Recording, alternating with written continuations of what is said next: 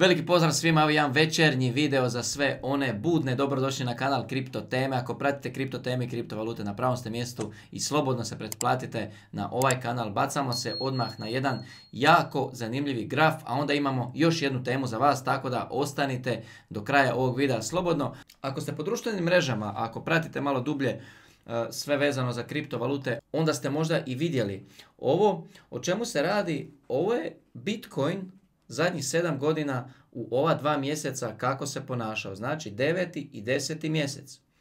Već tradicionalno deseti mjesec izgleda jako dobro za Bitcoin u posljednjih sedam godina. Samo 2018. znamo i sami kako je prošla ona 2018. Samo te godine je reagirao loše u ovom mjesecu, svih drugih godina jako, jako dobro. I sad dolazimo, sad dolazimo u 2022. i biti će very interesting gledati što će se sad događati, kako će se ovdje Bitcoin postaviti, da li će biti u crvenom, da li će biti u zelenom. A jedna od vijesti dana je da je mjenjačnica FTX preuzela Voyager. Ovo je veliki, veliki potez. Sad će biti interesantno pratiti ono o čemu smo pričali. Ispred nas je eh, FTX token. Ovo je trenutno kako, kako on izgleda. Međutim, ovo je jako zanimljiva stavka. Ovdje 3 milijarde 3 milijarde dolara market cap, a ovo je ovdje Voyager, znači 188 miliona market cap. I sada će biti jako zanimljivo gledati kako će tržište reagirati, kako će svi ovi fanovi FTX tokena, znači FTT token, svi ovi ljudi koji trpaju lovu na ovaj projekt, da li će sada simpatizirati i Voyager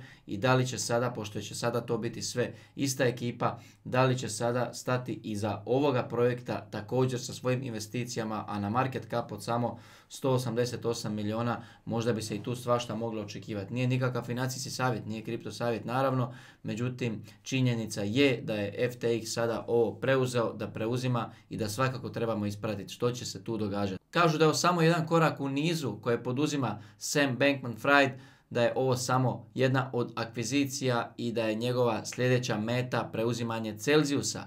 Vidjet ćemo da li će se i to realizirati. Danas imamo vijest dana da je CEO iz Celziusa Alex Mašinski više nije CEO povlači se, njegova karijera je tu gotova, prestaje, dolaze novi ljudi da preuzmu kompaniju, da idu u pravcu spašavanja. Da li je FTX taj koji će sada ići u preuzimanje i Celziusa? Osobno nemam ništa na Celziusu, ako pratite redovito moj kanal, ako gledate sva videa do kraja, onda znate da sam jedno 16 dana prije nego što će se početi događati ovo što se dogodilo na Celziusu, snimio video koji je dan danas ovdje na kanalu, pogledajte po datumima, u tom videu sam rekao da prodajem sve Celzius tokene, da sve što imam u drugim kriptovalutama povlačim sa Celsiusa, rekao sam koji su moji razlozi i tako dalje. Tako da svi su znali da ja sa Celsiusom završavam. Naravno svi koji gledaju redovito moja videa, puno ljudi je reklo da su preskočili taj video, pa im je nešto ostalo i zaglavljeno. Međutim, dugoročno mislim da su preveliki i da će oni, čvrsto vjerujem, da će oni uspjeti konsolidirati kompaniju, spasiti kompaniju. U krajnjem slučaju, i ako oni vide da su nesposobni, da će ih uzeti neko puno veći od njih samih i da će to neko drugi odraditi. Tako da,